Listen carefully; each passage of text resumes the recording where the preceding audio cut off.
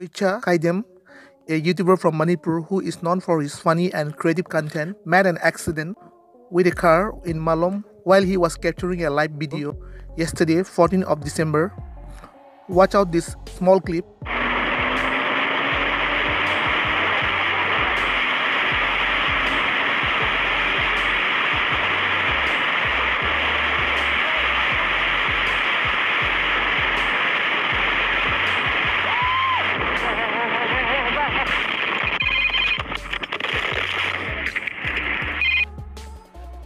That's it from the sources. More detail awaited.